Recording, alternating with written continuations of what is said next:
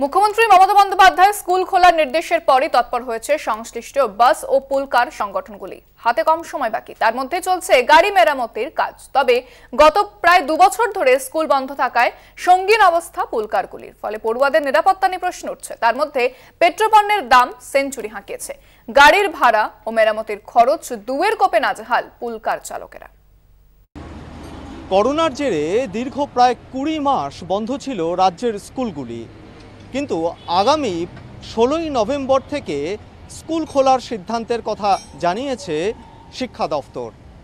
তার পাশাপাশি এই স্কুলগুলিতে যে পড়ুয়ারা এতদিন অনলাইনে পঠন পাঠন করতেন, তারা স্কুলে আসবেন এবং সেই স্কুলে আসার ক্ষেত্রে গণপরিবহনের ওপর কিন্তু ভরসা করতে পারছেন না অভিভাবকরা।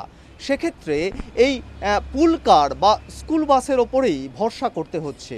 কিন্তু গত প্রায় কুড়ি মাস বন্ধ থাকার জেরে এই পুলকারগুলির যান্ত্রিক বেশ কিছু সমস্যা তৈরি হয়েছে এবং সেই সমস্যা যাতে সমাধান করা যায় সেই লক্ষ্যেই কিন্তু বিভিন্ন পুলকার যে রয়েছে সেই পুলকারের চাকা এমনকি ব্যাটারি সেইগুলো কি অবস্থায় রয়েছে সেগুলো ইতিমধ্যেই কিন্তু সেগুলোর মেরামতির কাজ শুরু করা হয়েছে।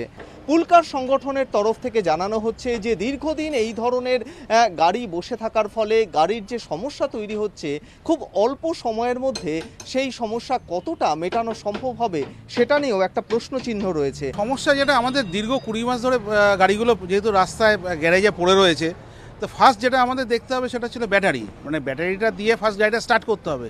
স্টার্ট করলেই তারপর আমরা বুঝতে পারব যে আমাদের মেকানিক্যাল পার্টের কী কী প্রবলেম আছে। আমাদের মোবিল চেঞ্জ করতে হবে। দীর্ঘদিন, দীর্ঘ কুড়ি মাস ধরে যখন গাড়িগুলো পড়ে আছে, সেগুলো টায়ারগুলো হয়তো হার্ড হয়ে গেছে রাবারগুলো মানে রাস্তায় চললে সেগুলো হয়তো বাস্ট করবে। সেগুলো আমাদের একটু দেখে নিতে হবে। মানে একটা লম্বা খরচার ব্যাপার আছে। তারপরে যদি গাড়িগুলোর ম্যাক্সিমামই সিএফ ফেল হয়ে গেছে ম্যাক্সিমাম গাড়ি আমি আমি যতদূর জানি, তো সিএফ করাতে গেলে এই জিনিসগুলো তো লাগবে। আমার রিকোয়েস্ট মানে আমার গভর্নমেন্টের কাছে একটা হাম্বেল রিকোয়েস্ট যে আপনারা এই সিএফগুলোকে একটু শিথিল করুন। এই দেখছেন এত বড় বড় বাস, এগুলো এক একটা রং বডি করতে গেলে তিরিশ থেকে চল্লিশ হাজার টাকা খরচা আছে।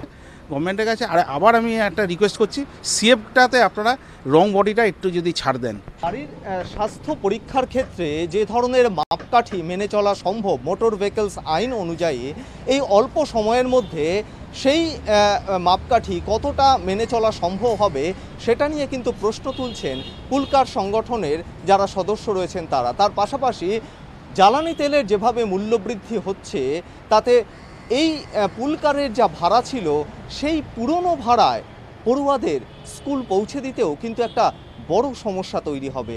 সব মিলিয়ে ষোলোই নভেম্বর থেকে স্কুলমুখ পড়ুয়ারা পুলকারে কতটা নিরাপদে আসতে পারবেন সেটা নিয়ে কিন্তু একটা প্রশ্ন থেকেই যাচ্ছে।